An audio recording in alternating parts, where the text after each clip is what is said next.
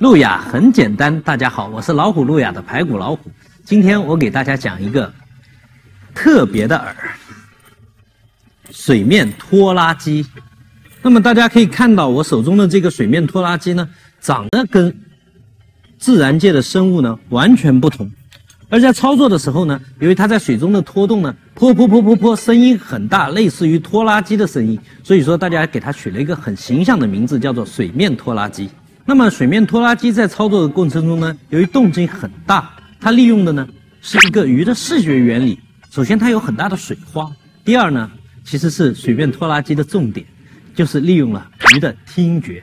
大家一定会有疑问：鱼有耳朵吗？其实有了。我们在养鱼池边或者在杭州的玉泉，我们用手掌击打的时候，鱼都会从远处过来，等待我们去抛鱼饵或者面包。甚至在大海里头，海豚也会发出很尖锐的叫声，甚至几公里以外的鱼都可以听到。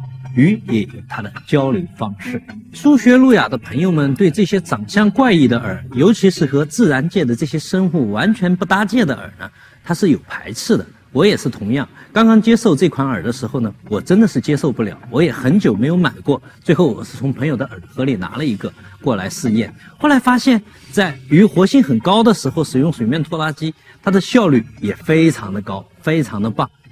而且在那些鱼活性非常低、很难让它开口的情况下，水面拖拉机有时候也有出奇制胜的作用。那么水面拖拉机呢，不但它的速度很快。而且它在水面的声音也远远超过了我们其他的水面系，类似于铅笔波爬这样的假饵。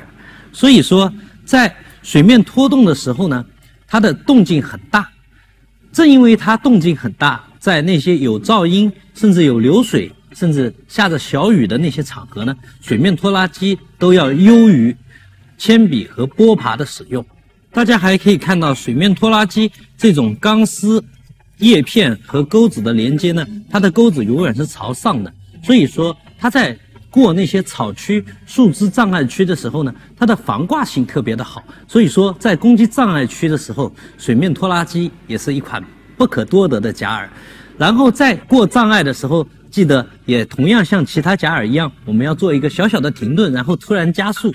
这个时候呢，那些深藏在障碍里的鱼呢，会被水面拖拉机这种噗噗噗的声音所吸引。冲出来救饵，大家不要犹豫啊，拖得很快，不要担心鱼追不上，鱼一定能追上。水面拖拉机在实操的过程中呢，有的时候鱼活性真的不够，真的没有办法去追上这一款假饵。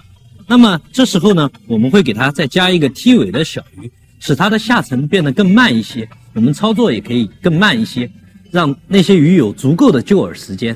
在操作水面拖拉机的时候，由于它的钩子比较大，所以说需要第一时间将鱼嘴打透。那么建议使用快钓的路亚竿，腰力比强劲。那么它必须拖拽在水面的时候才有拖拉机的效果。所以说建议大家使用高速比的轮子，否则饵沉下去的时候，那就不是水面拖拉机了。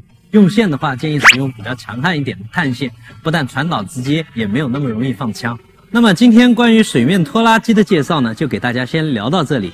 欢迎关注钓鱼人 APP，关注路亚很简单，我是潘果，我们下期节目再见，拜拜。